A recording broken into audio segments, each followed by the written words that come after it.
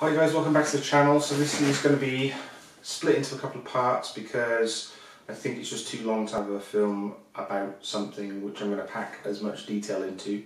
Uh, but I'm quite excited today because I've been waiting to get my hands on one of these for a while. This is the DeWalt mower, the two battery 18 volt, 36 volt you could say mower. And it is an awesome bit of kit, but people's main problem with it is not the build and not how good it is at actually doing the job, but really its battery life. And I think we're almost getting to the point where we can sort of eradicate that if you look at something like this. This is the 9 amp hour flex volt battery.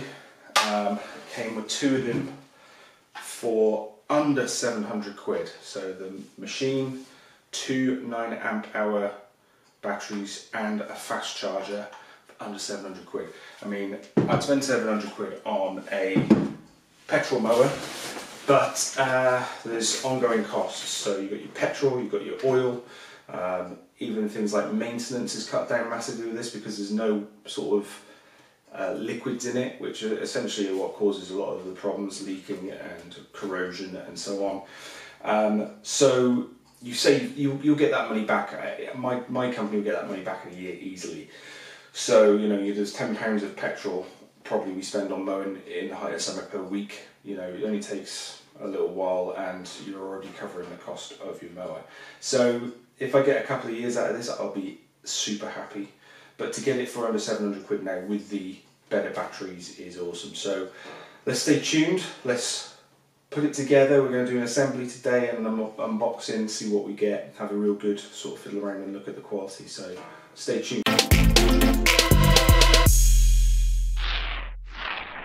Alright boys and girls, now you might notice on the box uh, it says it comes with the 5 amp hour. Now I got this from DVS through eBay which made it even cheaper than the store could do it. Um, and what they do is they take the model that they've got, be it a bare one or the one with the batteries in there, take them out, sell them with other bits and if you've asked for the one with the upgraded lithium ion, DeWalt, FlexVolt, blah, blah, blah, blah, blah. Then they just pack those in there instead. I have charged both of these up. You've got a battery indicator there. Now, what makes these special is the FlexVolt is a more efficient battery than the standard 18 volt. So essentially what happens is you get, I think say 43% extra power. So if you had a 5 amp hour FlexVolt, which they don't make, I don't believe, and you had a 5 amp hour XR uh, 18 volt, um, the FlexVolt one would last 43% more. Now, with two 5 amp hour batteries in this mower, people were saying you get 40 minutes if you were lucky um, out of the standard 18 volt ones. So that isn't good enough. That wouldn't cover, you know, a, a large garden. Um, it'd probably cover a large garden, but not some of the ones we do. So the idea of these, I could have went for the 12s, but they're so expensive, £240 each for the 12s. These are on their own about 140 and when you buy them as a kit they're so much more cheaper. So 9 amp hour, that's nearly double a 5 amp. So the way I look at it is 40 minutes means you're going to get more of 120, sorry, sorry you're going to get 80 minutes, an hour 20. Um, if it was double, it's not double, so that reduces it down a bit. So say if we reduce, reduce it down by 20%, so 8 minutes, bring that down by 20%, that gives us what, 74 uh, minutes, what's that, 80? No, 64 minutes, right? But then it's it's 43% better. So that bumps us right up. We're looking hopefully around the sort of 100 minute mark. So 100 minutes is an hour and 40 minutes. Now that would probably get through a day of mowing because you don't mow the whole time. You're strimming and you're mowing and we may do 10, we may do 10 gardens in a day, but they'll all be sort of stamp size ones. So I'm not too worried. And then if we do one that's overgrown, we wouldn't be using this. We'd be using a classic petrol backup one. Um, this also came with the charger, the fast charger, which is fan cooled, which is really important because these things, when you're pumping heat into them, they can get really hot. Um, and it can actually charge a 6 amp hour flex volt, they say in about 40 to 60 minutes. So now, again, using maths, 9 amp hour, we're up to the sort of 100 minutes, so an hour and a half per battery. Now I do probably intend to buy a second one of these so that we can put them on and in a couple of hours both of them are charged. But at the minute it's fine, we can put them on, just swap them over. Or we can use the classic uh, charger, I believe. on those as well, just takes a lot longer. Don't quote me on that. But this is for the 18 volt onlys in the flex I don't think the fast charger does the 12 and the 10 and so on, 10.8, whatever it is. Volts, it's only for the 18 volts and up. So that's them. And I I'm going to try this out on a drill because it does actually add more power, there's more voltage. Uh, I don't know, but I seriously think it's going to increase the overall power of it. And I'm just because, oh yeah, these are little dust protectors, stops you getting grime in the contacts there. Right, let's get a look at it. So yeah, you'll notice the box is already open. I wanted to charge it up, charge them up. We're unfortunately not able to um, do much today. I know I've got my Christmas t-shirt on because it is February and there is snow outside. Uh, so I felt Christmassy again. So, there's our grass bag. I think it's a 50 litre one. And the biggest problem that people have when doing a lot of mowing is these bars on the grass bag over time bend that way, which makes the uh, mower actually sit, the, the bag on the back of the mower sit like this, and this part starts scraping along the floor. The problem with that is this doesn't take the corrosion very well and all the stitching comes out and you've got big holes in the back of your bag. So, just on previous mowers, I don't know how good this one is, it seems like the angle's a lot better, so maybe it'll be stronger, but if you, on normal wire mowers, bags, which is what they say, if they start to bend, just bend them back in place and make sure that the bag is out of the, off the ground um, to try and keep it a bit longer. This, this feels really tough. Um, I'm, I'm quite impressed with that. It's got the big DeWalt badge on the side, you spent the money, you want people to see it. Nice and soft though, but really durable. Guaranteed tough. And here we are, let's get all of the packing securing. Um, let's have a look. Yeah, okay, right. So, instructions. Don't really need those, do we? But what I've got in here is the starter key. I think it's just like a fuse, but without this, you can't start the mower. Uh, I don't think they're programmed. I could be wrong. But it is, yeah, you need this to start the mower. I guess it's a bit of a safety thing. Sorry about the shaky business. Um, but it will not start without that. Let's try and get this out. So you've got two big handles on the front to help you with the in and out of the back of your trailer or your van or wherever it may be. My invoice from DVS, I can tell you exactly.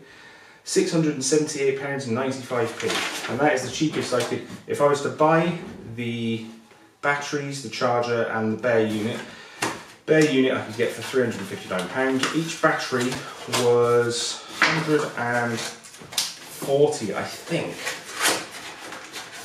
and then the charger itself, the fast charger is 40 odd pounds, so I wasn't going to get close, you know, to, it was, it was close, but how much a convenient was it to get it all in one go? And there you are, nearly ready to rock. Doesn't even seem like it needs much more assembly. This lifts up, I just don't know how to do it yet. Let's have a look. So it folds like this deliberately so that you can tuck it into the back of a small van. These are commercial units, they're designed for commercially commercial use, um, as all DeWalt stuff is. They're aimed at the sort of commercial user rather than home user, but of course a lot of home users buy them, that, that's why they do so well. This is your battery compartment, so no big mower made out of aluminium and steel this is all made out of reinforced plastic, seems really durable, and there's a lid there, which I like to think is pretty airtight. It's not, but pretty tight to stop the grass from getting in. Pick our dust, pick our dust comes off, that slides in there. And the second one slides in there, fully charged. They just slot in like you do on the bottom of the drill, like that and you're ready to go. I don't know, there's still a bit of room in there, so maybe the, you, you know, the, I think the 9 amperes are a little bit bigger, not massively. Sorry, the 12 amperes, those are the 9 amperes. So maybe when they do even bigger ones, they'll still fit. That'll be interesting to see. So I have just figured out how to lift this up. There's a little knob there that you pull back, and there's another one there. But how can you do that at the same time Ah, pull and twist. Pull and twist, guys. And there you go. Now, if you want it to, oh, watch that cable, that's not good. It could just nip it off there. Keep that out of the way. You see what we're doing? And here's the knobs. Now we're twisting back round and they lock into place. Easy. Two positions by the looks for the height there. Keep that on the top one. On the back of here, get this around so you can see it. I Don't know if you can see it here, but on the back of here is two battery indicators. So you don't have to get the batteries out and press the button or press the button while they're in there to see where your batteries are. Um, it will just tell you. It isn't weak, it is a steel deck I believe, so this bit is all made out of steel, is it? Yeah, the rest is made out of the plastic. Um, and I mean the worry is it's not strong enough, but as I said it's made for industrial use. I want to try and get it over there so that, ah, you can just about see the handle now. And this is the key. Key goes in the bottom here. And that is it. Let's see what happens. Nothing. Aha. So press right. So, I'll get this out of the way. I am going to actually start it in the house. I'm going to get told off by the missus. Let me just try and get it to a position where you guys can see. Right, so on the handles, I'm going to turn this round. On the handle, keys falling out, so obviously we push it in far enough. Right, there we go, we're locked in. This is your dead man's handle here.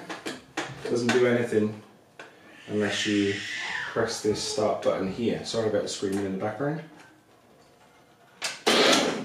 Whoa.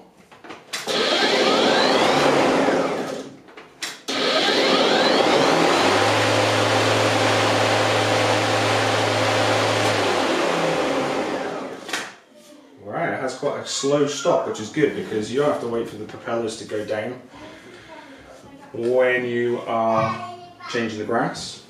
And you can probably see here, these are lit up. Now that it's received power and the key is in the ignition, these are lit up. So they're on now to tell me that there is power in there and you can watch those as you go. And if you do run out of power on the FlexVolt, you can just pop in a couple of 5 amp hour ones. They'll do you 40 minutes until um, you know you're the ones of charge maybe. I don't know how you want to play it, but ideally in an ideal world you'll just have loads of batteries. Um, in here, like they always do, this is a diversion I think, although it hasn't got a mulch hole. So this would just be to stop debris coming out the back and it would fall down to the bottom again and just get pushed under when you go over. But this is to stop grass coming out if you're just mulching. Um, so you put it in there. But of course we're not mulching, we're collecting because no one wants grass left on their lawns in England. America that might be fine because you can go out there every weekend and do it and just mulch it back into the ground, but not here. Right, so little hooks fit on the bar there, that fits on there. Lovely, all working absolutely perfect. And that is it. How much easier was that than some of the petrol ones I've done? I did recently have an Einhell um, mower. It was a really unique one. I did a video on it because it had a front center wheel rather than two two wheels, and you could lock it or you could have it on uh, like a dolly wheel system. It was really good to turn and get in and out of corners. But after a few weeks of using it, I'd already shot the video.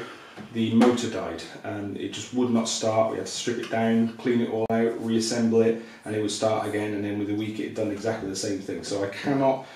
I might put the video up, but I cannot recommend them if they don't last. The problem is it was a really good mower, really good at collecting, really efficient and really good at getting in and out of corners and stuff like that. But if it's not going to do, if it's not going to stay alive, then why would I recommend it? So that concludes the video.